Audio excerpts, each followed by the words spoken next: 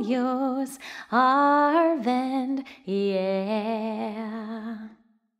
One happy birthday dot com.